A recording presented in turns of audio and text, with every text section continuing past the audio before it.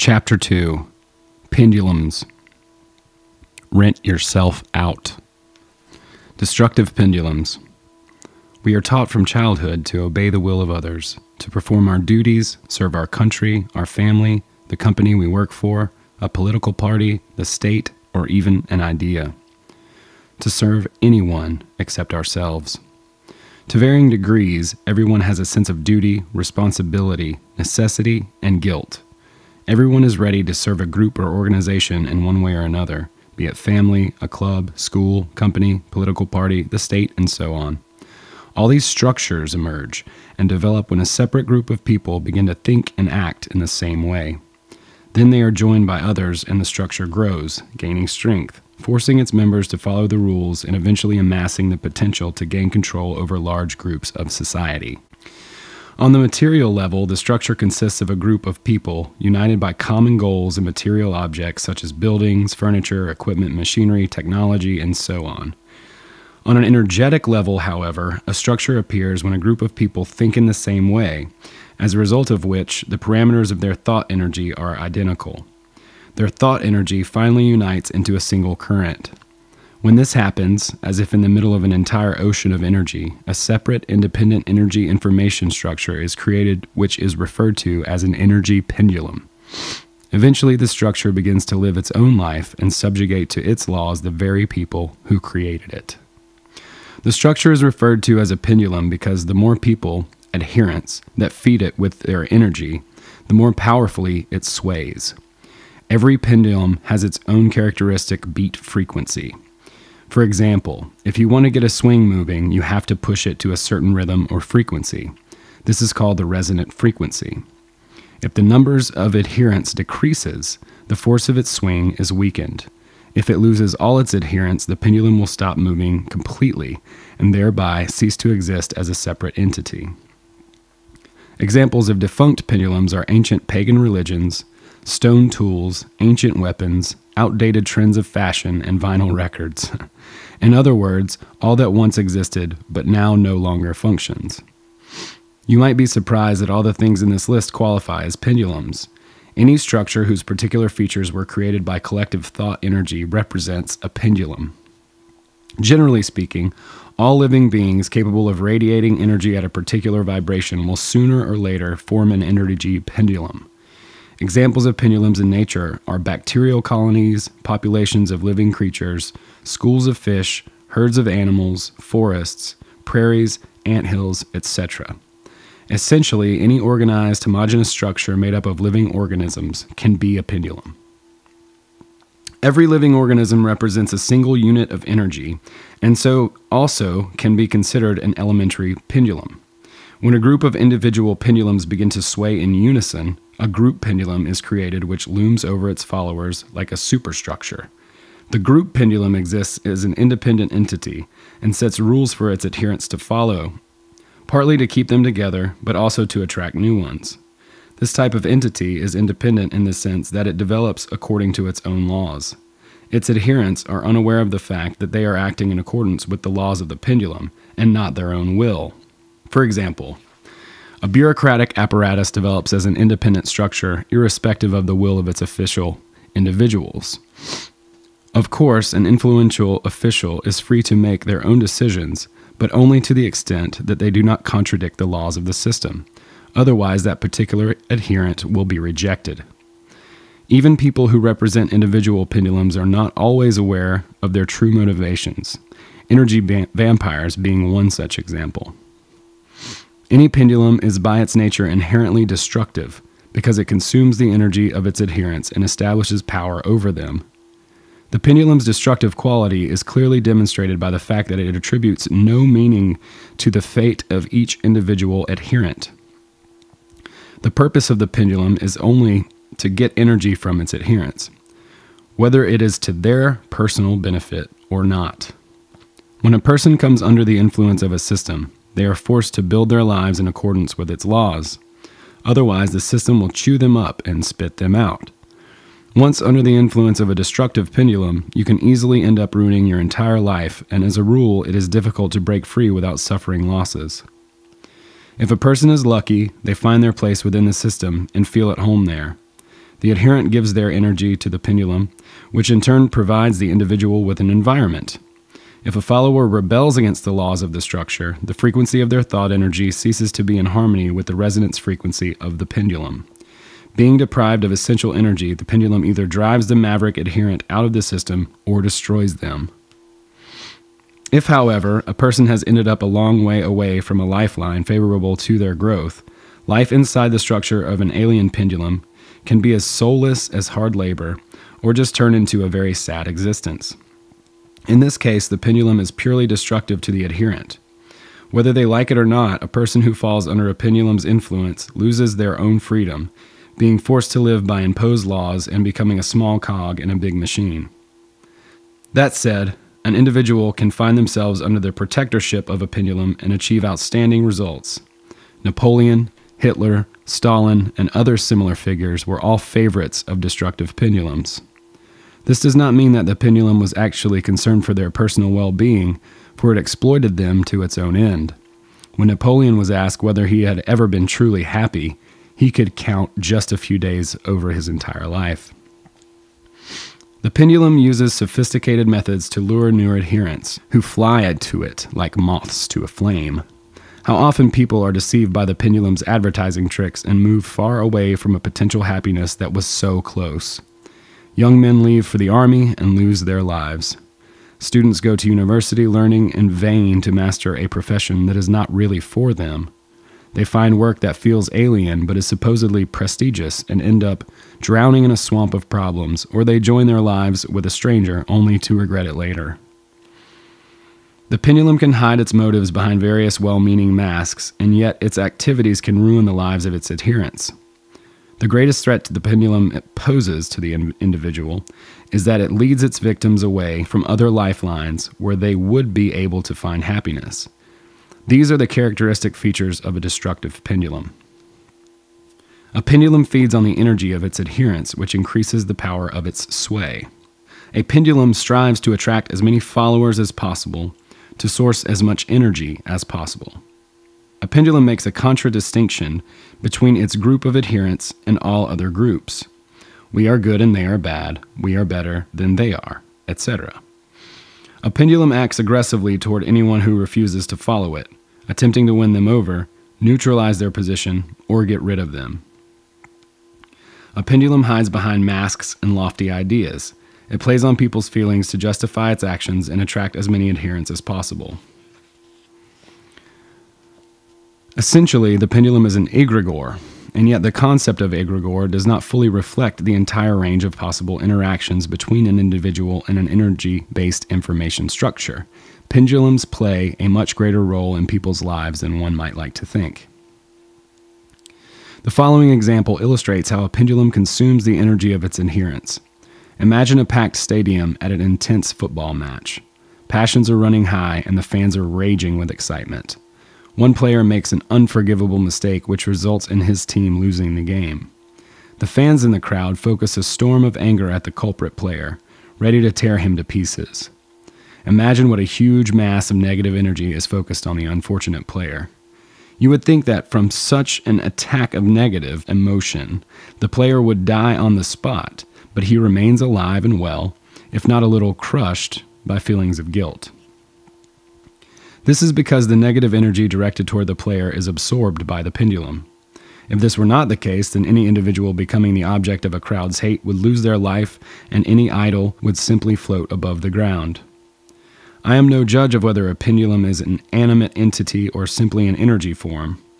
Either way, the distinction does not affect the transurfing method. The most important thing is to be able to recognize a pendulum and avoid being drawn into its game unless you stand to benefit from the interaction. There is one identifying factor by which a destructive pendulum can always be recognized. It always competes with others similar to it in the battle for adherents. The pendulum has one goal, which is to attract as many supporters as possible to source as much energy as possible. The more aggressive a pendulum behaves in the battle for devotees, the more destructive it is, i.e., the more danger it is to the life of the individual.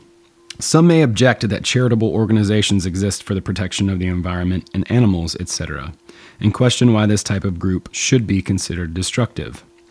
These groups are destructive to the individual because, whichever way you look at it, they still feed on a person's energy with no concern for that individual's happiness or well being. Organizations like these call for compassion to others and yet remain indifferent to their own followers. If a person feels comfortable and genuinely happy working for such an organization, then they have probably found their vocation, and consequently, the pendulum is the place for them. However, it is also important to be honest with yourself and ask yourself whether you are not perhaps wearing the mask of the benefactor. Are you donating your energy and money for the good of others with true sincerity? Or is being involved in charity just an attempt to feel a better person or look good?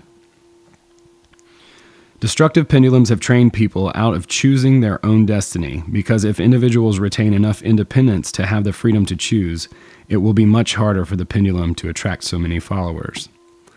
Our mind is so used to the idea that our fate is our lot in life that we find it really difficult to believe that we can simply choose a destiny that is more to our liking. It is advantageous for pendulums to keep their adherents under control, so they invent all sorts of ways of manipulating them. The following examples show how this is done. Transurfing could also become a pendulum if someone turned it into a pseudo religion, movement, or a school. Different pendulums are, of course, destructive to varying degrees. At worst, transurfing would be minimally destructive because it focuses exclusively on the well being of the individual rather than a shared goal. Transurfing would be a very unusual pendulum with a community of individuals concerned solely with their own destiny. If you were to do some homework, what other types of pendulums would you consider constructive? I'm telling you all this in order to describe what it really means to choose your fate. So have patience, dear reader. Not all these ideas are easy to grasp, but as we go on, a clearer picture will emerge. The Battle of the Pendulums. The main feature of a destructive pendulum is its aggressive impulse to destroy other pendulums in order to win over potential adherents. With this purpose, the pendulum works to turn its followers against the followers of other pendulums in the sense of, we are good and they are bad. People who get involved in this type of argument end up losing their way and striving towards spurious goals which they mistakenly consider their own. This is the destructive nature of the pendulum. Fighting against the followers of other pendulums is totally futile and can destroy lives, one's own, and the lives of others. War is the most extreme manifestation of the battle between pendulums. Each pendulum uses various arguments to persuade its adherents to take up arms, and the nature of the argument is specific to the historical epoch. The earliest, most primitive argument used was simply to order the followers to take something from the hands of others by force. As society became more civilized, the arguments became slightly more refined. One nation declares itself supreme, progressive, and the most developed, with all the others less developed and somehow flawed. The lofty objective is to raise the underdeveloped nations to a higher level, using force if they resist. Metaphorically speaking, the contemporary conception of war is like a beehive hanging from a tree in the forest. The wild bees in the nest are busy making honey and raising their offspring. But then a pendulum comes up to the nest and announces to its followers Look, wild bees! They are very dangerous and must be destroyed, or at least their hive must be destroyed. If you do not believe me, look! And the pendulum stirs up the nest by beating it with a stick. The bees fly out of the hive and start stinging the adherents. The pendulum then cries out triumphantly See how aggressive they are? They must be annihilated. Whatever exculpatory slogans are used to justify war and revolution, in essence, the motivation is the same the battle for adherents. The form the battle takes may differ, but its one goal is to win over as many adherents as possible. New force is a vital necessity for the pendulum, for without it, the pendulum's sway would stop entirely. The battle of the pendulums is an inevitable struggle for survival. Once the wars and revolutions are over, other less aggressive but nonetheless tough forms of battle continue, such as the battle for market control, competition between political parties, all kinds of marketing, advertising campaigns, ideological propaganda, and so on. Human society is totally based on pendulums, so all fields of activity are gripped with competition. The rivalry goes on at all levels, from public debate to competition between club teams and individuals. Things that are new, unusual, or strange always have a hard time carving out their niche, and not only because of inertia in people's thinking. The main reason for this is that it is not profitable for the old pendulums to support the appearance of a novice who would distract its devotees. For example, internal combustion engines which so contaminate the atmosphere of our cities could have been relegated to the past a long time ago. After all, a number of alternative, ecologically friendly engine models have long been developed. The problem is that they threaten the downfall of the oil corporation pendulums, and for the time being, these hold too strong a position to allow some inventor to wipe them from the stage. These monsters literally buy up the patents for new engine models and keep them secret at the same time declaring them to have low levels of efficiency. Implementing its structure on a material level, the pendulum strengthens its position via financial means, facilities, equipment, and of course, human resources. The pendulum places its favorites at the top of the human pyramid. The favorites are made leaders at all levels, starting with low level managers and continuing up to heads of state, and they are generally not required to have any particularly outstanding qualities. As a rule, those adherents become leaders whose qualities best fit with the structure of the pendulum. To the favorite, it might appear that he has achieved impressive results in his life solely on individual merit. To some extent, this may be true, but most of the work in promoting favorites is performed by the self organizing structure of the pendulum. If a favorite's parameters fail to meet the requirements of the system, they will be ruthlessly eliminated. The pendulum battle is destructive to its followers because they think they are acting on personal conviction when in fact they are following the will of another entity. In the majority of cases, the personal conviction of the devotees is taken over by the pendulum, as soon as a person attunes to the pendulum's frequency, an interaction begins to take place between them on an energetic level. The frequency of the devotee's thought energy is stabilized and supported by the energy of the pendulum. A kind of lock on takes place, and the adherent is trapped in a feedback loop. The adherent radiates energy to the resonance frequency of the pendulum, which in turn feeds a little energy to the devotee, thereby maintaining its influence over them. On the material level, this is an everyday standard scenario. For example, the pendulum of a political party conducts an election campaign, attracts a new devotee, and gives them a little energy in the form of positive feelings like righteousness, satisfaction, dignity, and importance. The adherent thinks they are in control of the situation and still able to choose their affiliation, whereas in truth, the devotee was chosen and control established over them, not the other way around. The adherent only appears to be acting according to their own will, when in fact it is the pendulum that is artificially and unnoticeably manipulating the will of the adherent.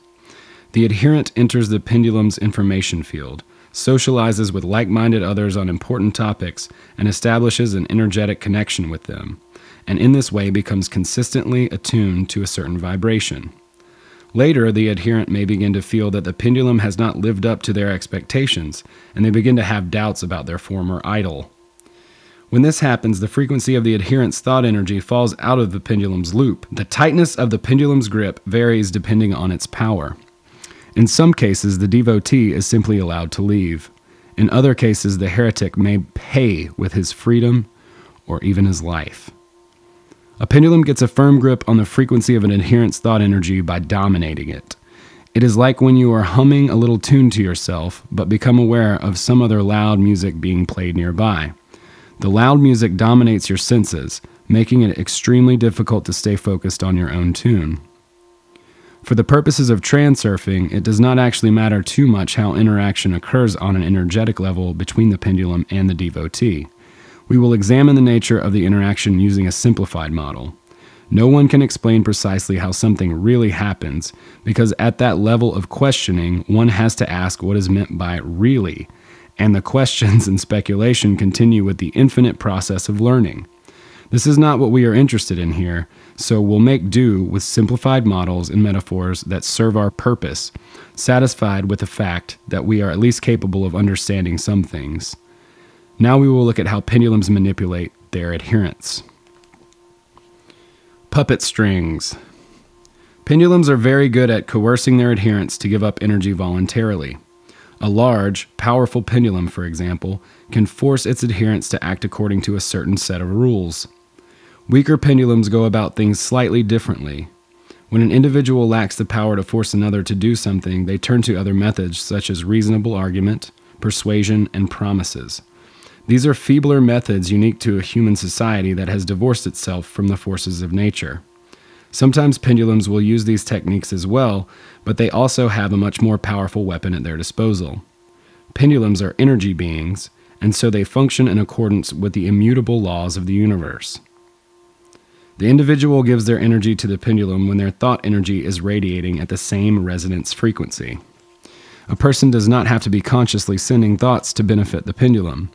As you know, most human thought and action originates in the realm of the unconscious. The pendulums make use of this feature of the human psyche. They manage to get energy not only from their adherents, but also from their ardent opponents. You have probably already guessed how. Imagine a group of old ladies sitting on a bench criticizing the government. They are obviously not adherents of the government pendulum. They hate it for a number of reasons. However, what happens is that the old ladies criticize the government for being so inept, corrupt, cynical, and stupid, and in doing so, they emit intense thought energy at the frequency of the pendulum. It does not matter to the pendulum which side you rock it from. It can use both positive and negative energy, just as long as that energy is resonant with its own. The pendulum's main task is to engage people in any way possible in order to occupy their thoughts. With the advent of mass media, the pendulum's techniques have become more sophisticated, and a person can become highly dependent. You have probably noticed that news programs are usually dominated by bad news, evoking strong emotions anxiety, fear, resentment, anger, and hatred. The task of the journalist and correspondents is to attract attention. The media, being pendulums themselves, stand in service to yet more powerful pendulums. Their declared aim is free access to all information, but their true singular goal is to attune people's thoughts in all ways possible to the desired frequency. One of the pendulum's favorite ways of gaining access to your energy is to throw you off balance. Once you have lost a sense of your own equilibrium, you start to wobble at the same frequency of the pendulum, thereby enabling it to sway more strongly. Let us say, for example, that prices have risen. You react negatively, becoming resentful, you complain, and exchange information with your friends. This is a natural and even proper response, but it is also exactly what the pendulum is expecting. You radiate negative energy into the world at the frequency of the pendulum. It receives the energy, swings harder, and the situation is aggravated. The strongest string the pendulum can pull you with is fear, the most ancient and powerful of all human emotions. It does not matter what exactly you are afraid of. If the fear is associated with any aspect of the pendulum, it will receive your energy. Anxiety and worry are weaker emotions, but still relatively effective puppet strings. These feelings are excellent at attuning thought energy to the frequency of a pendulum. If you are concerned about something, you find it hard to focus on anything else. The feeling of guilt is also one of the most extensive of channels through which the pendulum can pump your energy. Guilt is imposed on us from childhood, and it is a convenient method of manipulation. If you are guilty, you must do what I say. Guilt is hard to live with, and so people try to get rid of it either via punishment or righting the wrong they have done. Both imply submission, obedience, and a certain thought pattern. A sense of duty is a special type of guilt. To owe something means that you are in some way guilty and therefore obliged to do something. As a result, the guilty, both the truly guilty and the falsely accused, wander around with their heads hung low, paying tribute to the pendulum in the form of energy. An induced, conditioned sense of guilt is the favorite weapon of any manipulator, and we will return to this theme later. It is also worth mentioning the various psychological complexes people have.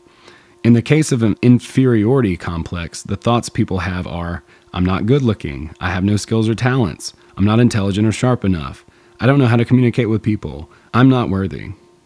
In the case of a guilt complex, the thoughts are I have done something wrong, everyone is judging me, I must carry my cross.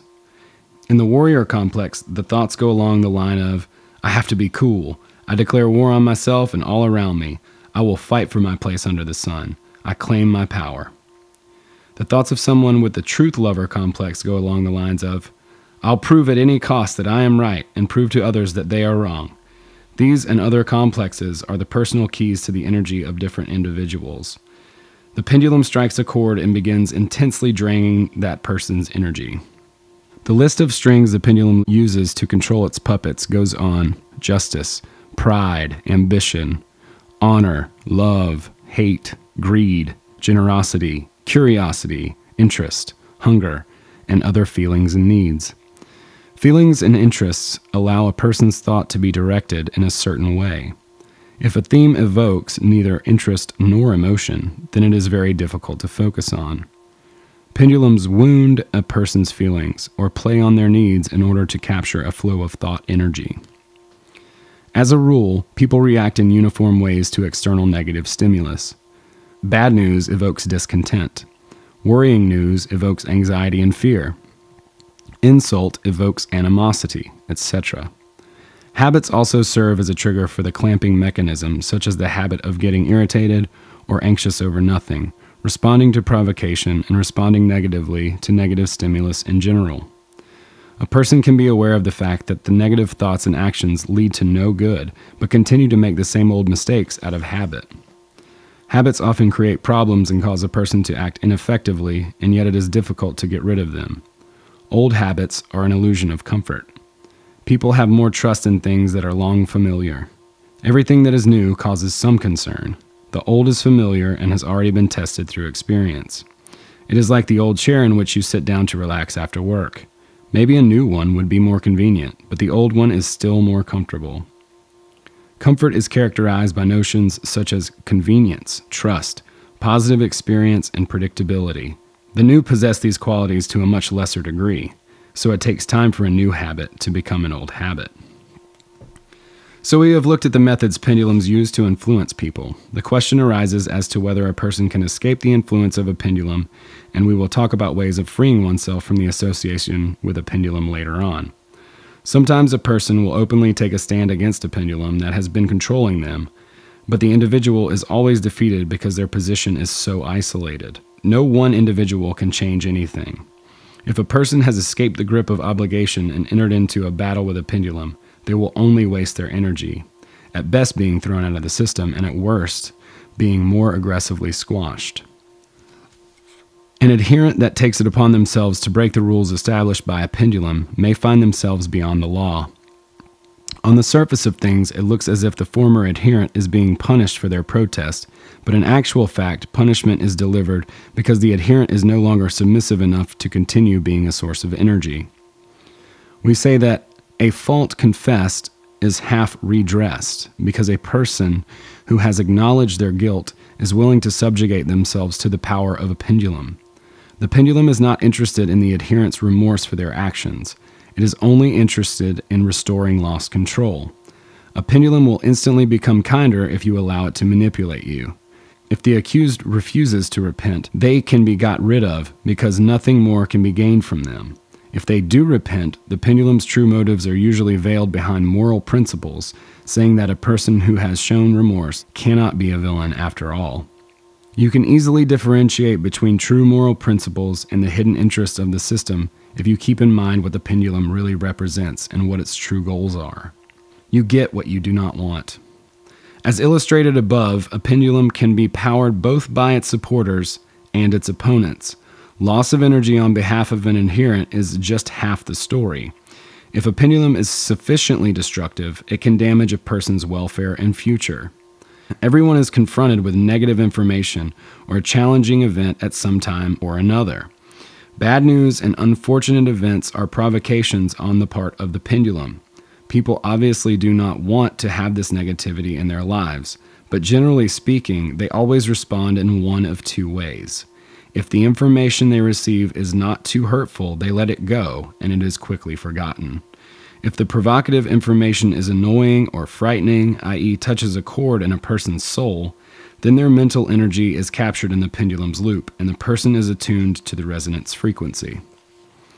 Events then unfold fairly predictably. The person gets angry, worried, and afraid, expresses their upset in an agitated fashion, and in general, actively radiates energy at the frequency of the destructive pendulum. Not all the negative energy is harvested by the pendulum. Some of it radiates out to sectors in the alternative space that correspond to the quality of the person's thought energy, which facilitates a shift to a lifeline where what the person would rather avoid is to be found in excess. If you remember, when a person's thought energy is attuned to a certain frequency, they shift to a corresponding lifeline. A pendulum ensnares a person's thought energy, holding it at a certain frequency. This is what is so destructive about the role of a pendulum. For example, generally we let information about accidents and disasters pass us by. If we were not directly affected, why upset ourselves unnecessarily? As a rule, when you hear the news, a disaster is taking place somewhere in the world, but you are on a lifeline where you play the role of witness rather than victim. The line on which you are the victim is somewhere further away. Conversely, if you allow yourself to take on board information about disaster and misfortune and discuss it with your friends, it is quite possible that you will soon shift to a lifeline where you may well end up in the role of the victim. The stronger your desire to avoid something, the more likely it is that you will encounter it. To actively fight against what you do not want in your life is to make every effort to ensure that it is present in your life. You do not have to take any specific action to shift onto undesired lifelines. It is enough to think negative thoughts and then fertilize them with emotion. When you do not want there to be bad weather, you think about how much you dislike rain Noisy neighbors wear you down and you end up arguing with them all the time or silently hating them. You are afraid of something and the fact greatly concerns you, or you have had enough of your present job and savor your dislike for it. Everywhere you are pursued by exactly the very thing you do not want, that you fear, hate, or despise. There may be other things that you would also like to avoid, but because you are not investing any negative emotion into them, they do not appear into your life. Once you let the thing you do not want into your life, associate feelings of hostility with it, and indulge in those feelings, it will instantly become a physical reality within your life layer. The only way to eliminate the things you do not want from your life is to break free from the influence of the pendulum that has seized on your thought energy, and from then on, avoid responding to its provocation or getting pulled into its game. You can free yourself from a pendulum's influence in two ways by defeating it or by stopping its sway. We will look more closely at how this can be done below. Defeating the pendulum. Trying to battle with a pendulum is futile. As was explained above, when you battle with a pendulum, you just end up supplying it with energy. The first and most important condition for successfully defeating a pendulum is to refuse to get into conflict with it. Firstly, the more actively you try to fight off pendulums that get you down, the more they will pressure you. You can repeat endlessly, Leave me alone, get away from me, and think you are fighting them off, but actually you are just providing them with energy, making them cling to you even more. Secondly, you do not have the right to judge or change anything. Everything you see and experience should be accepted as if they were paintings on display, whether you like them or not. There may be many paintings in an exhibition that are not to your taste, but it would never occur to you to demand that they be removed from the exhibition room. Once you have recognized the pendulum's right to exist, you also have the right to leave it behind, remaining free of its influence. The main thing is not to fight it, judge it, get angry, or lose your self control because by doing so you agree to play the game. The pendulum should be calmly taken for granted as a necessary evil and left at that. Any position of opposition supplies the pendulum with energy. Before you can fully understand what it means to choose, you have to know how to decline. Most people have a vague idea of what they do want, but know exactly what they do not want. In an effort to get rid of things or events that they do not want in their life, people act in a manner that has the opposite effect. To decline something, you have to first accept its existence. The word accept in this context does not mean to embrace something and let it into your personal space. It means simply to recognize its right of existence and then pass by indifferently. To accept and let go of something means to consider the meaning of something and let it pass, waving goodbye as it leaves. This is much more effective than letting something into your personal space, becoming attached to something, and then trying to oppose it. When you think about the things you do not want, you attract them further into your life. Imagine a person who detests apples. Rather than simply paying them no attention, it irritates the person that apples exist at all. On a material level, they get annoyed every time they see an apple and openly express their disgust. On an energetic level, the person may as well be hungrily pouncing on apples. Stuffing their mouth and chomping loudly, screaming about how much they hate apples, stuffing their pockets only to be sick, and once again complain about how they just cannot stomach apples. What the person does not realize is that they could simply delete apples from their experience of life. It does not matter whether you love or hate. If your thoughts are latched onto the object of your emotions, your thought energy will be attuned to a certain frequency, and you will end up caught by a pendulum and transferred to a corresponding lifeline where the object of your fixation is present in abundance. If you want to eradicate something from your life, all you have to do is stop thinking about it. Pass it by with indifference and it will disappear. To eliminate something from your life, ignore it. Do not avoid it. There is a difference. When you avoid something, it means you have let it into your personal space, but are now actively trying to get rid of it. To ignore something means not to react to it, and consequently, not to experience its presence in your space. Imagine that you are a radio. If your day to day life is like waking up every day listening to a radio program that you hate, all you have to do is tune into a different frequency. You might think that you can protect yourself from unwanted pendulums by putting up iron boundaries between yourself and the world, but this is an illusion. Putting on protective armor is like saying, I am a blank wall. I see nothing. I hear nothing. I do not know anything. I won't talk to anyone. I am unavailable. It requires a huge amount of ener- energy to support this kind of protective field. A person who deliberately isolates themselves from the world will find themselves in a constant state of tension.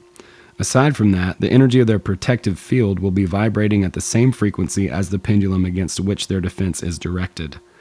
This is exactly what the pendulum wants. The pendulum does not care whether you provide it with your energy willingly or not. True protection from a pendulum is to be found in emptiness.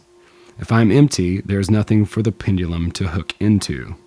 There is no point in playing a game with a pendulum or trying to protect yourself from it if it can simply be ignored. When you can ignore the pendulum, its energy will pass you by, dissipating into space without causing you any harm. Your pendulum cannot push your buttons or upset you if you are empty in relationship to it. The pendulum's principal objective is to attract as many adherents as possible and reap their energy. If you ignore the pendulum, it will leave you alone and switch its focus to others who can be drawn into the game and attuned to the necessary resonance frequency.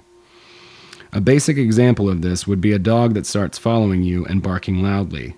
If you turn round to face the dog, it will bark even louder, and yet if you take it seriously and start trying to dodge it or fight it, the dog will follow you for a long time just because it wants someone to lock horns with. If you ignore the dog from the outset, it will simply switch its attention to someone else and will not be at all offended that you paid it no attention.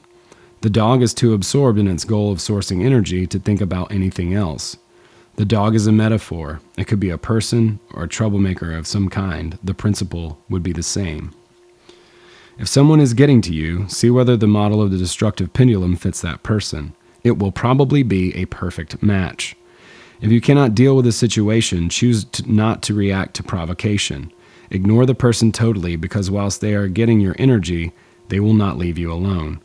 When you get into a conflict with someone or hate them in passive silence, you are directly giving them your energy.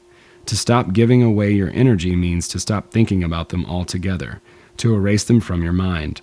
When you can say to yourself, they're not worth it, and really mean it, that person will disappear from your life. We often come across situations, however, where it is not that easy to ignore the pendulum.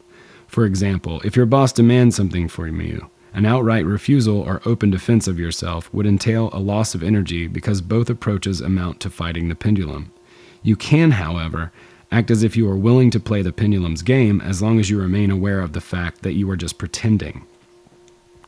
Imagine a heavily built burly man was to come at you with a sledgehammer and take a blow at you. If you react as if you are totally unperturbed, neither going to defend yourself nor to attack him, you could calmly step aside and observe the man take a sledgehammer and hack down into the empty space beside you. When you behave in this calm and unperturbed manner, the pendulum cannot hook into you and instead falls past you into empty space. The same principle is central to certain martial arts like Aikido.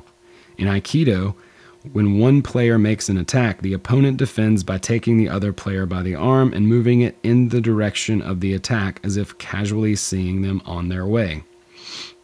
Without having to exert any force, the defending player sends their opponent flying in the direction of the original attack. The secret lies in not trying to block the attack. The players learn to accept the momentum of the attack and to move with the other player in this direction for a while before letting go. The energy of the attack is spent in empty space because there is nothing to catch hold of. The technique of the gentle dodge lies in responding with acceptance when the pendulum makes its first blow and then diplomatically stepping back or subtly directing the movement in the direction that suits you. For example, imagine your boss is stressed and heaps a pile of work on you, demanding that it be done exactly in the way he thinks best. You know that the work would be better done differently, or maybe the work does not ordinarily come within your, your responsibilities. If you object, argue, or defend yourself, your boss will simply demand that you accept his authority and do what he says. After all, he has made a decision and you are defying him. Do the opposite. Listen carefully and agree with everything he says. This allows the pendulum to discharge its first impulsive surge of energy. Then, start carefully discussing the details of the job. By now, you will have accepted your boss's energy and be radiating at his frequency.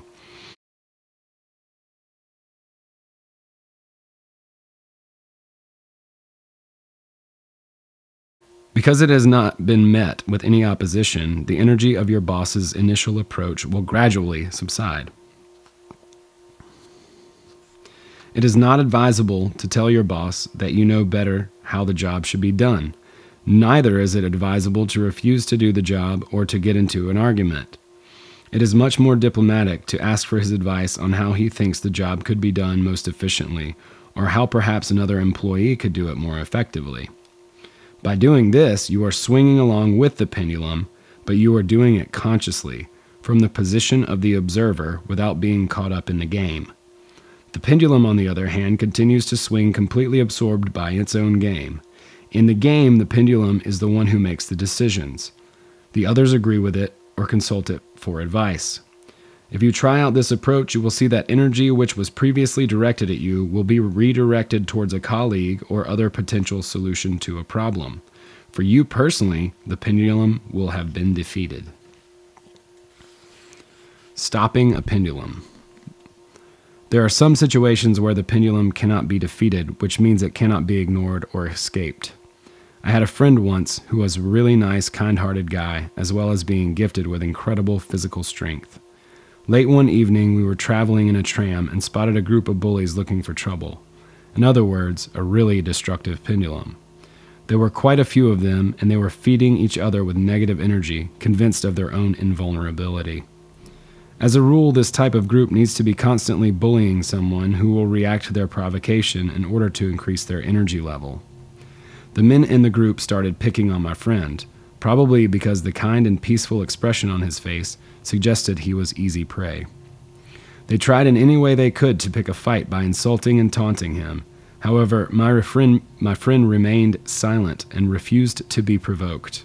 In other words, he was trying to defeat the pendulum.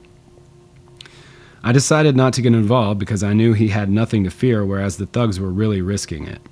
Finally, my friend could not take it any longer and got up from his seat and headed for the exit. The most brazen adherent blocked his way. Then my friend, who was by now totally cornered, grabbed the punk by the scruff on the neck and de- delivered a powerful blow to his head. The victim's face was smashed to a pulp. The remaining toughies froze with fear and amazement. My friend turned to grab the next one, who in a trembling voice mumbled, That's enough, man, stop.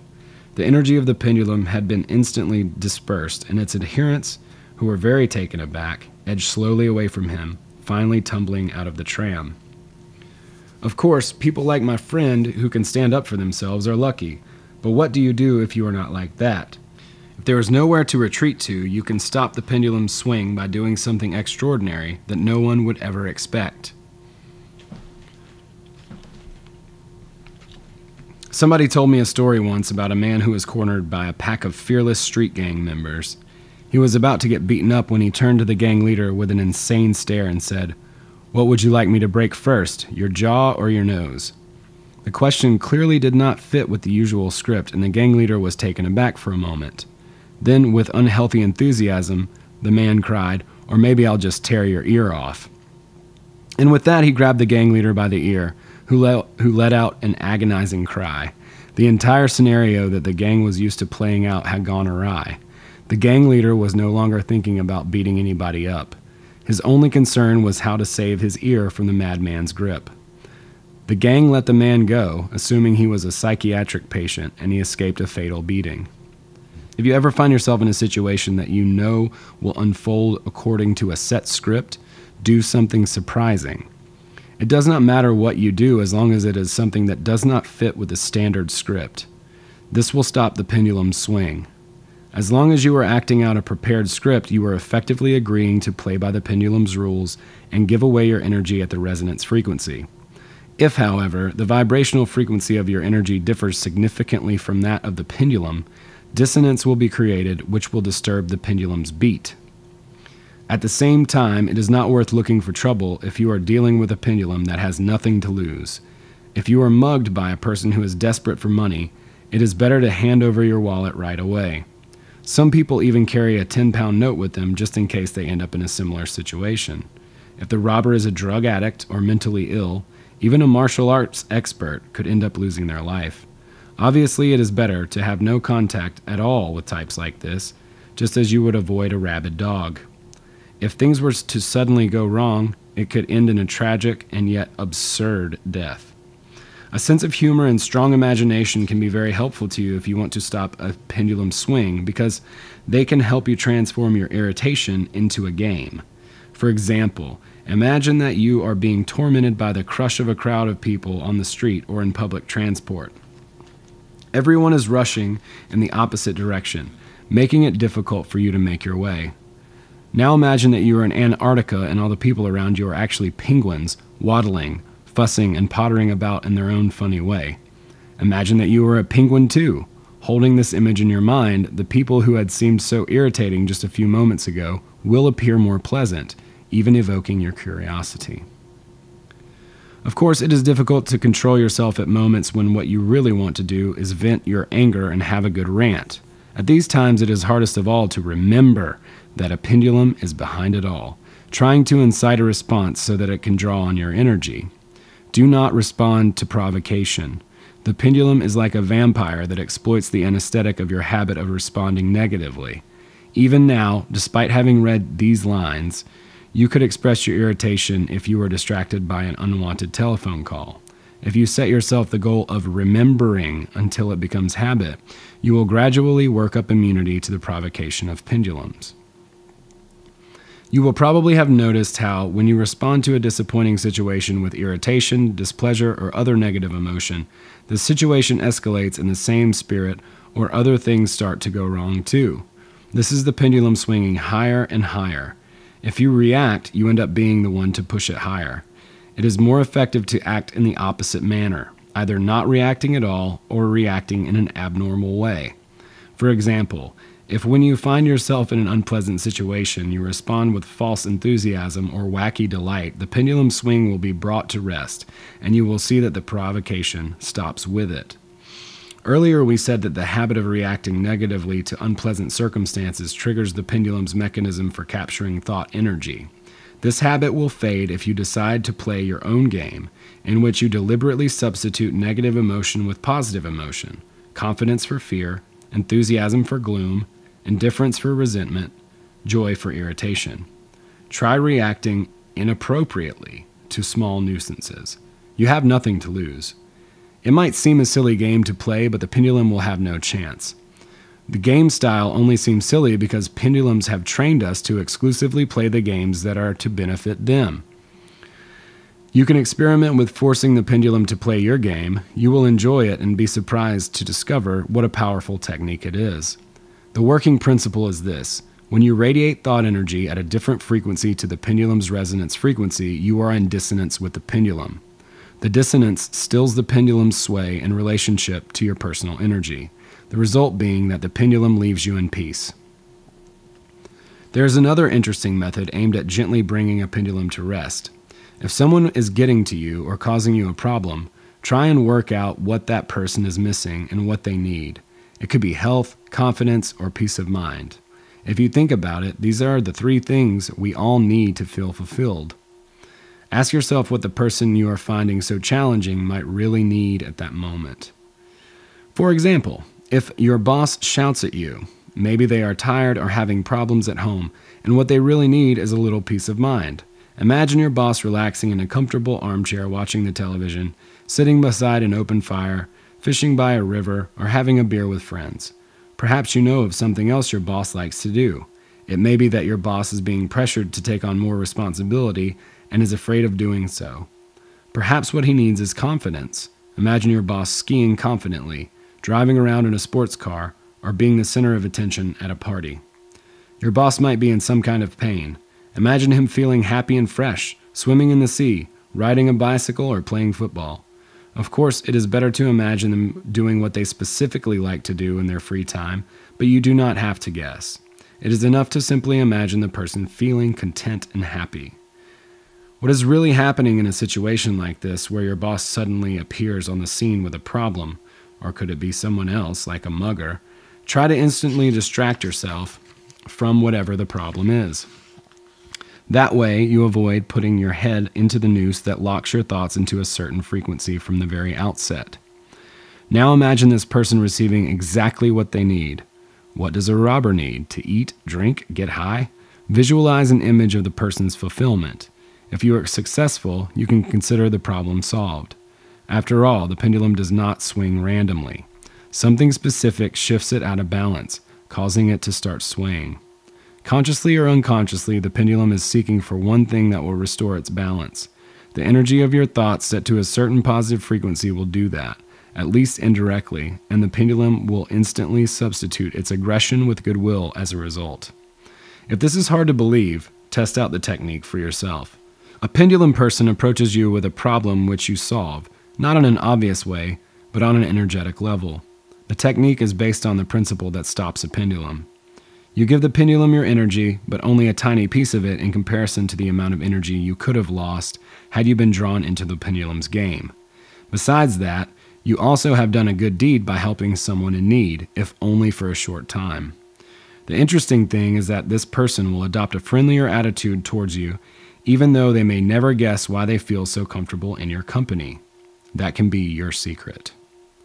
The same technique can be successfully applied in cases where you need something from someone who is absorbed in their own problems and not in the mood to collaborate.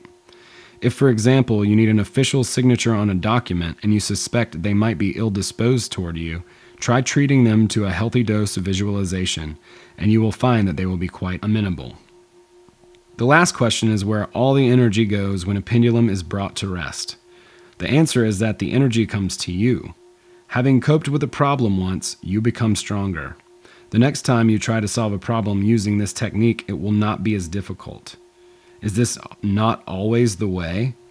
Fighting a pendulum head on only leads to a loss of energy, which is absorbed by the pendulum that created it. Psychologists and psychotherapists are well acquainted with equivalent practices of defeating or stopping a pendulum. In this sense, the techniques described here are nothing new. However, they will be of value to anyone unfamiliar with practical psychology and give a clear understanding of how and why psychological protection is so effective. Simple solutions to complex problems. Another practical value of these techniques for defeating or stopping a pendulum is acquiring the ability to solve all kinds of problems, complicated situations in your personal life, conflict, unfavorable circumstances, or simply a set task. There are always simple solutions to complex problems. The key to solving a problem always lies somewhere on the surface. The question is how to spot it. The pendulum that creates the problem obscures your vision, making it harder to find the key. The goal of a destructive pendulum is always to feed on your energy. To do this, it has to attune the vibration of your thought energy to the frequency of the problem and keep it there. This is easy to do if you are convinced that the problem is complex. If you accept the game rules, the pendulum will take you by the hand and lead you into an intricate labyrinth. Only later will you look back in hindsight and see how easily the mystery could have been solved. If you play on someone's complexes by scaring, worrying, or confusing them, they will take the bait and readily agree how complicated the problem is. You do not even have to scare a person to achieve the same effect.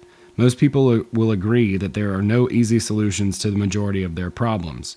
We are all constantly confronted with difficulties of some kind over the course of our lives, especially when we face something new or unfamiliar. Approaching problems with anxiety or even a reverential fear is for most people a deeply rooted habit. When weighing up their ability to deal with a problem, most people verge on the side of self doubt. Consequently, all this anxiety is an excellent puppet string. A pendulum can act via its adherents, i.e., people who are connected with a particular problem, as well as non living objects. The pendulum holds a person's thought energy at a certain frequency, sucking their energy whilst they carry the burden of the problem. You might think that focusing on the problem would help you to concentrate on finding a solution to it, and yet the opposite happens. It actually hinders you from finding a solution. The pendulum focuses our thinking on a very narrow sector of the informational field. As a result, a person thinks and acts within the limits of a narrow corridor, unable to see the bigger picture or perceive the solution which may well lie outside that sector of the information field. Unusual or intuitive solutions often present themselves when you free yourself from the pendulum and are able to think in a different way. The secret of genius lies in remaining free from the influence of pendulums. While the thought energy of most people is held at certain frequencies by pendulums, the thought energy of a genius is free to attune itself to different frequencies and move into unexplored areas of the information field. The way to avoid getting caught in the pendulum snare is to keep whatever problem you are dealing with in perspective and remain aware of the pendulum's intent to trick you into playing its game. Rent yourself out. Be detached. Try looking at the situation as if you had no emotional attachment to it. Act as you normally would, but remain observant. Don't play the game. Remember that the pendulum wants to take you by the hand and lead you into a complex labyrinth. Do not let the problem get a hold of you, scare, worry, or confuse you. Just remember that there is always a straightforward solution to every problem. Do not accept the complicated interpretation projected by the pendulum. If you are confronted with a problem or tricky situation, be aware of your attitude towards it. Even though the problem may stir up feelings of confusion, fear, resentment, despair, and so on, it is important to change your initial attitude to the exact opposite because then the problem will either disappear by itself or you will quickly find a simple solution to it. Despite the stereotypes and habits you have already adopted, try to regard any problems you encounter as just another part of the road you are walking along, like any other aspect of it, rather than as obstacles that must be overcome. Do not take the problem on board so that it occupies your inner space. Be empty to the problem. If you have to solve a challenging problem, remember that you do not have to rely solely on logical reasoning. Your subconscious is directly linked to the information field where the solution to any potential problem already exists. Relax. Release any fear or anxiety you may have been experiencing in connection with the issue. Confident in the knowledge that the solution already exists, let go. Quiet the chatter of the mind and contemplate the nature of emptiness. It is very likely that the solution will come to you instantly, and it will probably be very simple. If this, does, if this does not work, do not give up returning immediately to the rational thinking process. Try the exercise again. You will probably find that it works the second time. This exercise develops the ability to obtain knowledge intuitively, but you must make it a habit. This method really does work if you are able to stay detached and free yourself from the pendulum. This is not always easy, but later in the book you will discover new methods for dealing with pendulums. For now, we are just at the beginning of the transurfing technique. Are you feeling as if I have taken you by the hand and am leading you into a labyrinth? Stay free, even of those who preach to you of freedom. The suspended state.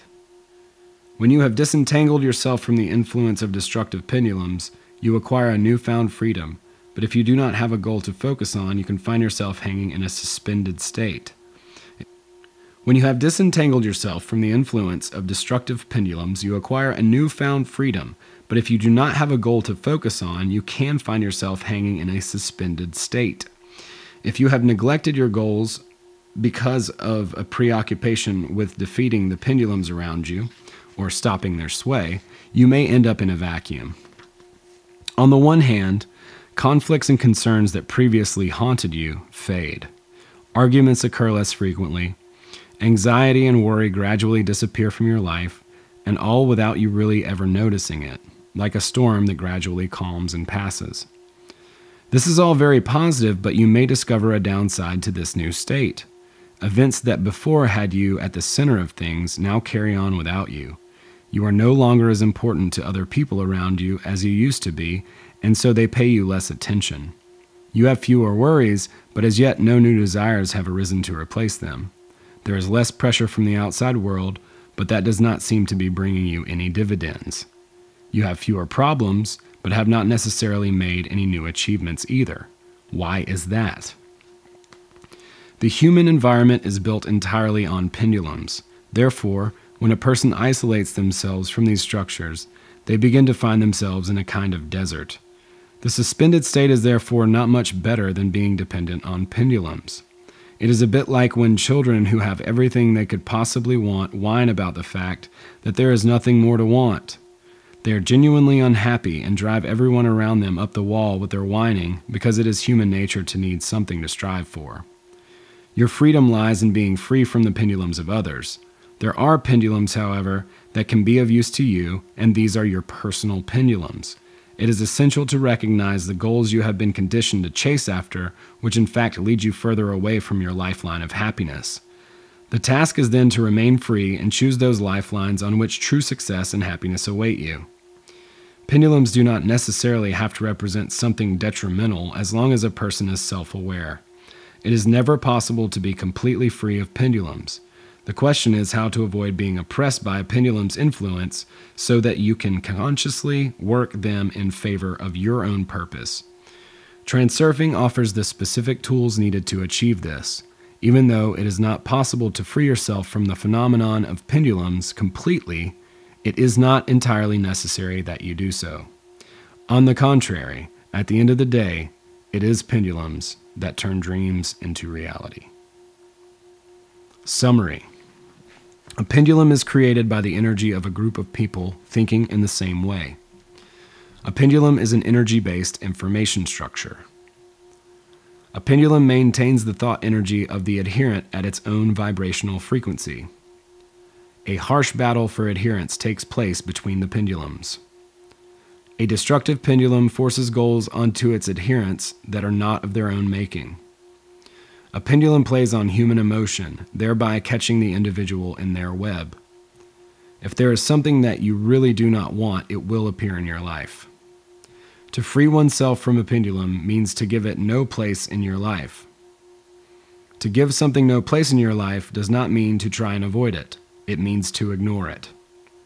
To bring a pendulum to rest, you have to change the established game script.